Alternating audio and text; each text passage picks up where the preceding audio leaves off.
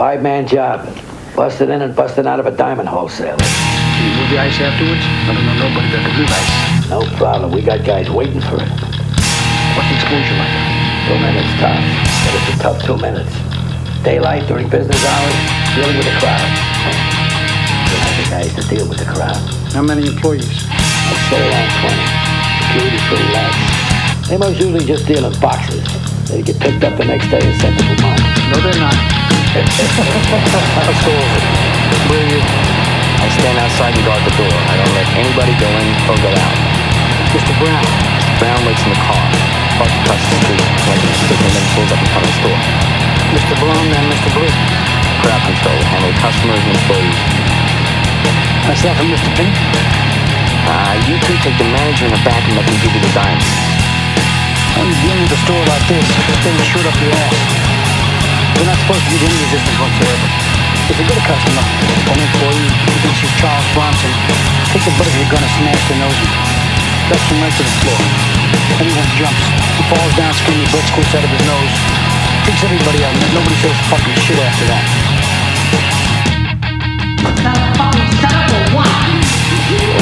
Contact head. Where's uh, Brown? Good. How did he die? How the fuck do you think? The top shot. Bad. So fucking bad. Fucked up. So fucked up. Somebody fucked us up big time, man. You really dude, sir? You to doubt it, man? I don't think we got set up. I know we got set up. I mean, really, seriously, where do those cops come from, huh? One minute they're not there, the next minute they're there. I didn't hear any sirens. You run off, okay? Alarm goes off. You got an average four minutes response time, unless a patrol car is fully three seconds in the moment. You got four minutes before they get ready to respond. You got one minute, there was 17 blue boys out there, and they were all just there.